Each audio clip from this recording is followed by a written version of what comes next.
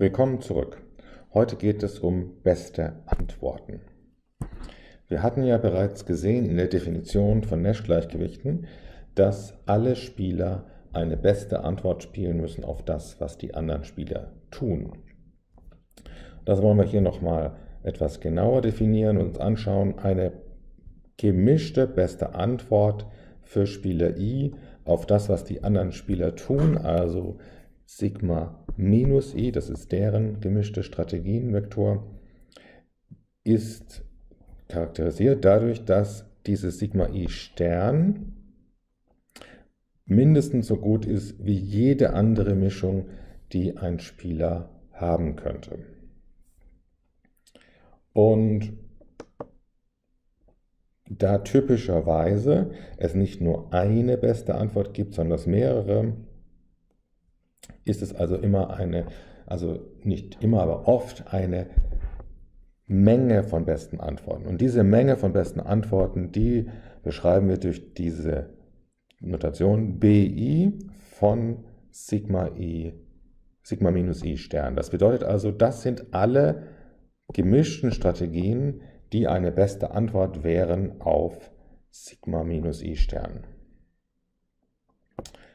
Deswegen steht da ein Element, weil, wie gesagt, das könnten viel, viele beste Antworten sein, manchmal unendlich viele, weil ja auch Mischungen erlaubt sind.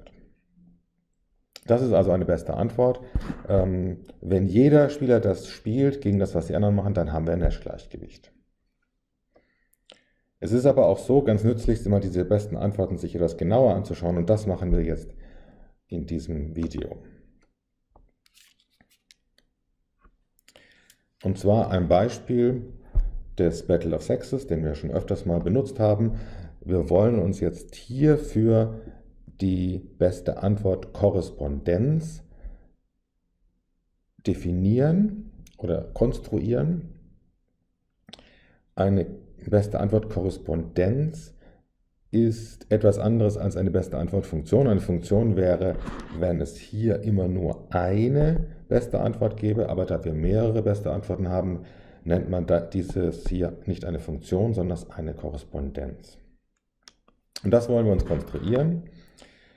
Da ist unser Spiel, unsere, unser Battle of Sexes, also ähm, versuchen wir das mal. Wir gehen einfach mal so vor. Angenommen, der die Frau spielt auf jeden Fall B, das heißt also die reine Strategie B. Wenn ich das als gemischte Strategie schreiben möchte, dann ist das 1-0, also mit Wahrscheinlichkeit 1 B zu spielen und mit Wahrscheinlichkeit 0 F zu spielen.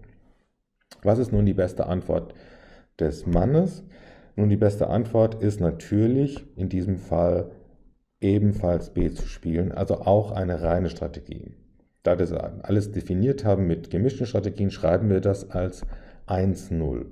Das ist also die Mischung, die Wahrscheinlichkeit 1 auf B legt und Wahrscheinlichkeit 0 auf F. Hier gibt es tatsächlich nur eine beste Antwort, das heißt, hier ist nur ein Element in dieser Menge, weil die Strategie B eben besser ist, strikt besser ist als F oder jede Mischung von B und F. Das heißt, hier gibt es wirklich nur eine beste Antwort und das ist in diesem Fall die reine Strategie B. Ähm, und das gilt B ist beste Antwort für jede Wahrscheinlichkeit, mit der die Frau B spielt, die größer ist als zwei Drittel. Also wenn diese Wahrscheinlichkeit hier, B zu spielen, größer ist als zwei Drittel, dann ist tatsächlich B eine beste Antwort. Wenn allerdings diese Wahrscheinlichkeit genau zwei Drittel ist, das heißt also, wenn die Frau mischt und spielt zwei Drittel B und mit ein Drittel spielt sie F, dann sehen Sie, dass der Erwartungswert von B und von F für den Mann genau gleich gut ist. Nämlich in beiden Fällen würde er zwei Drittel als erwartete Auszahlung bekommen, egal mit B oder mit F. Das heißt, in diesem Fall sind sowohl B als auch F beste Antworten, weil sie gleich gut sind und sie sind die besten Strategien, die der Spieler in diesem Fall hat. Aber er kann jetzt noch was anderes machen. Er kann auch mischen in diesem Fall. Nämlich, wenn die Frau zwei Drittel, ein Drittel spielt, dann kann er genauso gut auch mischen, und zwar mit jeder beliebigen Wahrscheinlichkeit Q, die zwischen 0 und 1 liegt. Er kann also zum Beispiel ein Halb, ein Halb mischen. Das würde ihm auch eine Auszahlung von zwei Drittel geben. Oder er kann ein Viertel, drei Viertel mischen. Jede Mischung gibt hier genau dieselbe Auszahlung, weil die Auszahlung, von, die, die Auszahlung, die B und die F erzeugt, jeweils gleich ist. Damit ist auch jede Mischung natürlich gleich gut. Das heißt, hier in diesem Fall, für diesen Fall, wenn also die Frau genau zwei Drittel, ein Drittel mischt, hat der Mann unendlich viele beste Antworten. Nicht nur B und F, sondern auch jede Mischung, die dazwischen liegt. Wenn nun allerdings die Frau mit weniger als zwei Drittel B spielt, dann ist nur noch F eine beste Antwort. Das heißt nur noch dies hier, auch wiederum eine eindeutige beste Antwort. Und es gibt nur noch dieses hier, F oder eben 01. Okay, damit haben wir jetzt die beste Antwort Correspondence für den Mann vollkommen spezifiziert. Es hängt davon ab, ob die Mischung der anderen, des, der Spieler, der Frau, größer oder kleiner ist als zwei Drittel. Das können wir jetzt auch grafisch aufarbeiten. Und zwar in dieser Grafik, wo wir hier auf dieser Achse dieses Sigma 2 von B haben. Das ist genau die kritische Wahrscheinlichkeit, von der wir die ganze Zeit gesprochen haben. Aber nur auf dieser Achse haben wir die kritische Wahrscheinlichkeit von Spieler 1. Wir sehen also jetzt hier die rote Kurve. Das ist die beste Antwortkorrespondenz von Spieler 1. Für Werte von Sigma 2 von B größer gleich 2 Drittel ist B eine beste Antwort und B ist die Wahrscheinlichkeit 1. B zu spielen. Das heißt also, wir sind hier oben. Für Sigma 2 von B kleiner 2 Drittel ist F eine beste Antwort oder eben eine Wahrscheinlichkeit Sigma 1 von B gleich 0. Das heißt, wir sind hier unten.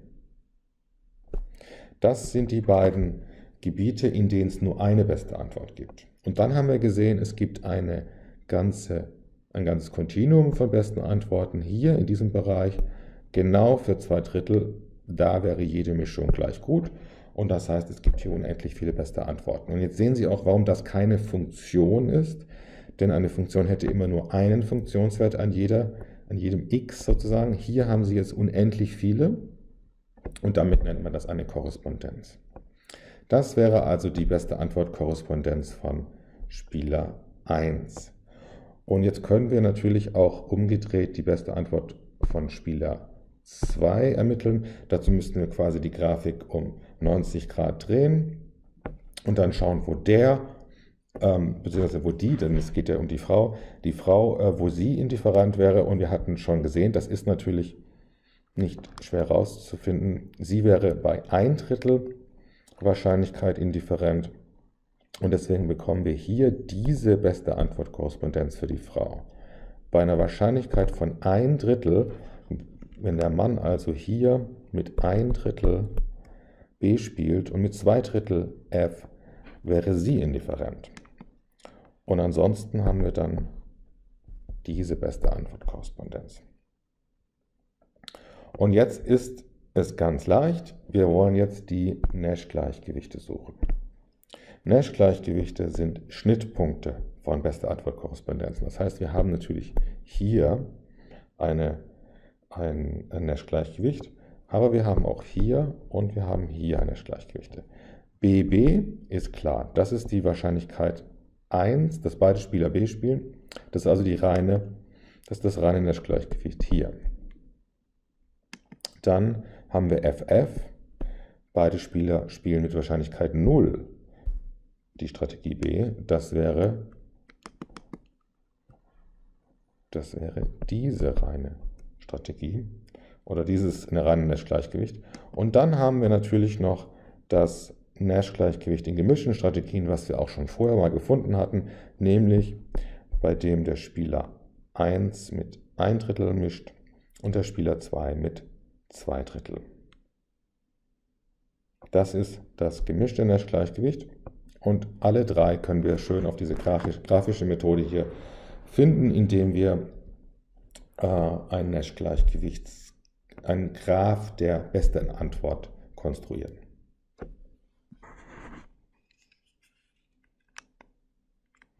Jetzt gibt es noch eine wichtige Erkenntnis, die man ganz leicht äh, ableiten kann, und zwar folgendes. Wenn ich zu jeder Auszahlung eines Spielers eine Konstante addiere, das mache ich mal hier als Beispiel.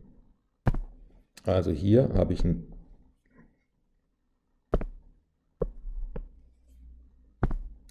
Also hier habe ich ein C addiert, da ist ein C, da ist ein C und da ist auch ein C addiert. Das heißt, ich habe jetzt zu jeder Auszahlung eines Spielers C addiert. Was macht das mit den besten Antworten? Nun, wir können das einfach ausrechnen. Wir rechnen jetzt hier mal aus, wann ist B besser als F?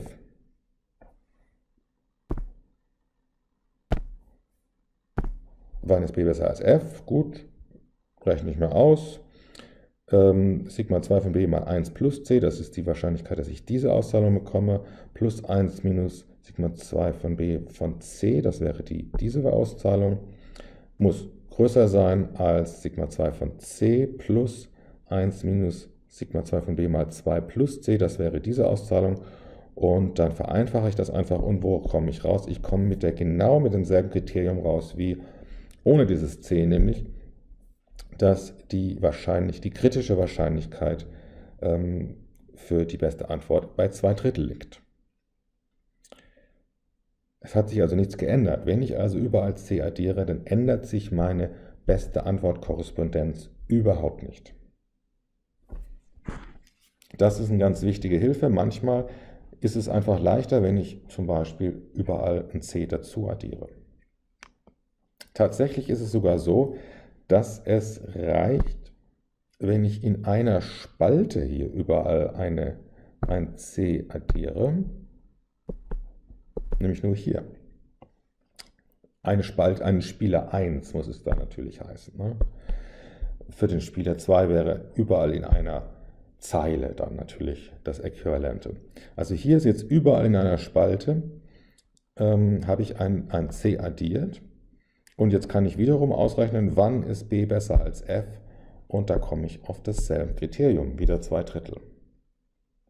Das heißt also, manchmal ähm, kann man zum Beispiel in, innerhalb einer Spalte für den Spieler 1 beziehungsweise innerhalb einer Zeile für den Spieler 2 überall eine Konstante addieren und nichts ändert sich an der besten Antwort und nichts ändert sich natürlich deswegen auch an den Nash-Gleichgewichten. Das Nash-Gleichgewicht ist unverändert. Das war's für heute.